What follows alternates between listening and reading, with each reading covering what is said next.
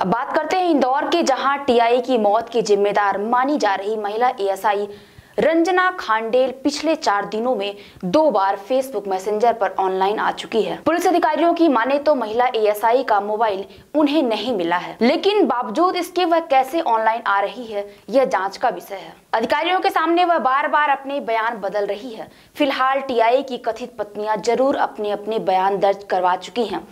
Regal चौराहे पर स्थित असिस्टेंट पुलिस कमिश्नर ऑफ़िस के परिसर में 24 जून को गोलीकांड हुआ था, जिसमें भोपाल में पदस्थ टीआई हाकम सिंह पवार ने इंदौर में पदस्थ एएसआई रंजना खांडेल को गोली मारी और फिर खुद सिर में गोली मारकर आत्महत्या कर ली थी। मामले में अब जाँच ब्लैकमेलिंग सहित अन्य बिंदुओं पर टिक गई है। रंजना अपना निजी अस्पताल में उपचार करा रही है। इसी बीच पुलिस उसके दस से ज़्यादा बार बयान ले चुकी है।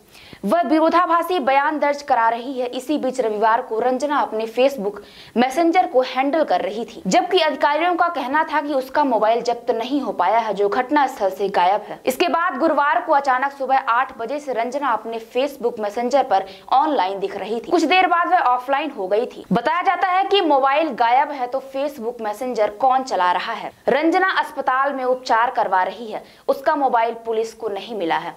इसी बीच वह मैसेंजर पर ऑनलाइन है तो कौन उसका मैसेंजर चला रहा है? यह जाँच का विषय है। वहीं उसे वह किसी अन्य मोबाइल लैपटॉप या किसी अन्य डिवाइस से तो नहीं चला रही। इसकी भी जाँच की जानी चाहिए।